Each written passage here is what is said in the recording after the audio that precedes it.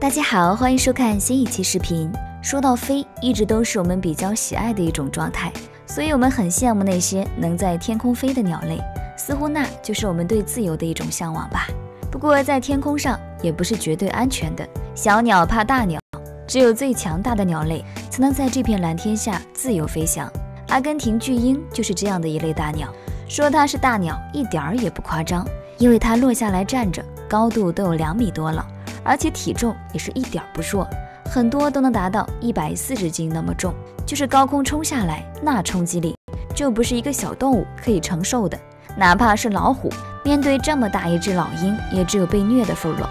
而且它张开双翅的时候，长度更是达到了八米那么宽，简直就是一台滑翔机的大小了，让人看到都害怕。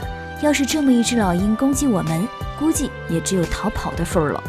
不过，这种巨鹰虽然在空中找不到对上属于霸主级别的物种，但实际上它本身的限制也不少。比如在繁衍下一代这方面就很弱，它要两年才能生出一到两个蛋，而这些蛋的存活率也只有一半。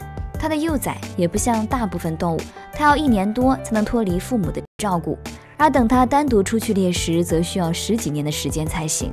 这对于很多鸟类来说，基本上是老死的状态了。但这类巨鹰则不会。从寿命上来说，如果是人类帮忙照顾饲养的鹰类，活个五十年不是很大问题。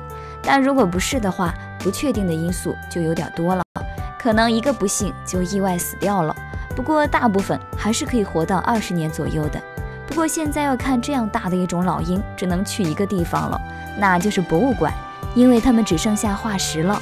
或许是繁殖这方面太弱小了。导致它们很早就被环境淘汰掉了。